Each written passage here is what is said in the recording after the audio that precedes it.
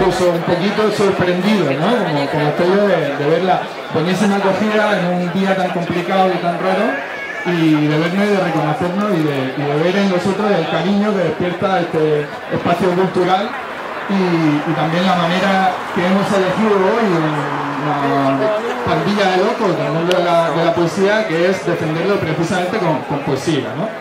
Eh, además de poetas, yo también creo que es reseñable, creo que es algo que me, que hace sentir muy orgulloso que hay representados eh, personas de todos los elementos del mundo cultural murciano, del mundo del libro. Aquí hay desde bibliotecarios hasta editores, hasta profesores de primaria, secundaria educación superior y, universitarios, eh, usuarios de la biblioteca, todas las personas interesadas en, el mundo del libro se ven de alguna manera representadas en este grupo de poetas eh, y yo creo que esto pues conecta con esta idea nuestra tan importante de que la cultura es un ecosistema eh, en el cual todas las especies deben estar sanas, ¿no? que si falla una, por ejemplo, esta biblioteca nuestra, pues el edificio se tambalea o se pone en peligro. ¿no? Yo creo que es un, espacio que merece la pena eh, defender ¿no? de esta manera.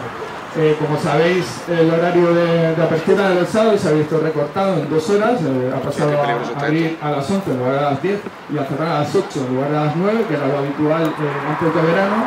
Esto se ha, comunicado de una manera, yo creo que, que ligeramente irrespetuosa hacia los usuarios, es decir, poniendo un folio en la puerta a mitad de agosto, y aunque sí es verdad que la movilización está provocando eh, ciertos cambios y entendemos que la consejería está eh, digamos matizando esa, decisión y ahora dice que esto es solo provisional y que van a volver al horario de apertura completo, tenemos que seguir empujando y lo, estamos haciendo de la mejor manera posible.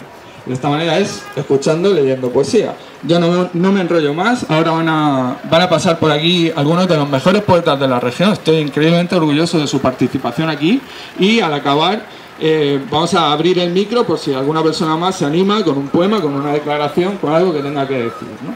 Y para terminar vamos a leer un, un breve manifiesto en defensa de la biblioteca y de la cultura y después pues seguramente vamos a tomar el camino del Lemon, pero eso ya es otra historia, será contada en otra ocasión. Eh, bueno, ¿qué puedo decir? Que, qué contento estoy de, tener aquí a los poetas con los que yo crecí, con los que empecé con, todo esto de la literatura en los años 90, esta pandilla eh, a la que quiero tanto. Otro personaje al que, quiero mucho es el poeta que, viene a continuación, muy conocido, seguro que, sabéis quién es. Héctor Castilla, eh, te toca.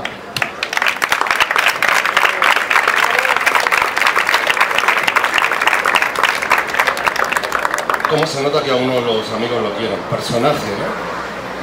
Eh, voy a tocar un poco la nariz. Es maravilloso estar aquí esta tarde, noche ya, entre poetas, escritores de relatos, novelistas, eh, directores de teatro, gestores culturales, editores, porque creo que soy el único de toda la lista que se autodenomina ex poeta. Así que como único ex poeta de la noche voy a leer dos poemas. El primero y menos mal que se ha adelantado diciéndolo Vicente Cervera, es para darle las gracias al personaje que tengo aquí detrás. Sin él, eh, Murcia no sería lo que es y muchos de los que estamos aquí no seríamos quienes somos. Así que por favor, un aplauso para José Daniel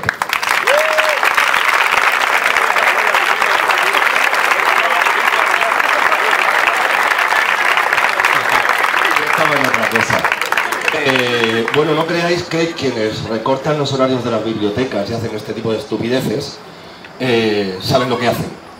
Son borregos mandados por impresentables que sí saben lo que quieren hacer. Tanto a los jefes, pero sobre todo a esos borregos, este poema de José Daniel Espejo, que como no va a leer, lo leo yo, que se llama Empleados.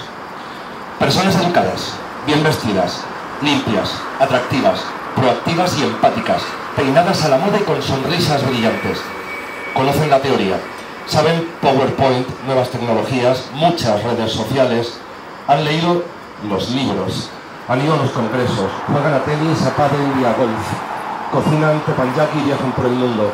Sus sueldos son de infarto y lo que hacen. A poco que investigues bajo la superficie de sus pulidos discursos es defender el derecho que creen tener sus jefes a poseer ocho yates anclados a tus huesos.